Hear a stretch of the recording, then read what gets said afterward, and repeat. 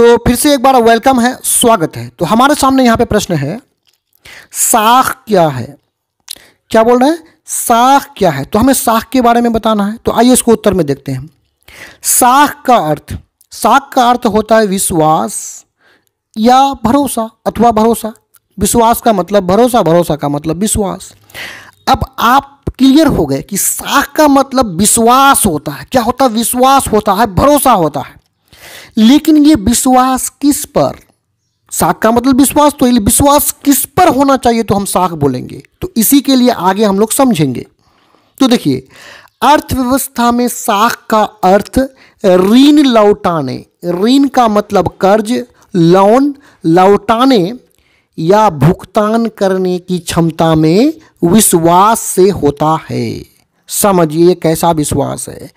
तो कोई व्यक्ति ऋण लौटाता है या नहीं लौटाता है? भुगतान कर पाता है कि नहीं कर पाता है? कोई आपके पास रुपया पाता है तो उसको हमें भुगतान करना पड़ेगा।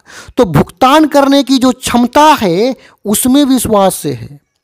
यानी वे विश्वास जो है, किसी व्यक्ति के क्षमता पर विश्वास है। और ये क्षमता कौन सा क्षमता है? ऋण लौटाने या भुगतान करने की क्षमता में विश्वास से होता है। साख के दो पक्ष हैं। अब देखिए, विश्वास मतलब ऋण लौटाने या भुगतान करने की क्षमता में विश्वास से है। अब यदि ऋण की बारी आएगा तो इसमें दो बातें होंगी। इसलिए कहा गया कि साख का दो पक्ष होता है। वो दो पक्ष क्या है देखिए, पहला पक्ष है ऋण दाता ऋण मतलब होता है कर्ज, दाता मतलब देने वाला। जो ऋण देगा, उसे ऋण दाता बोलेंगे।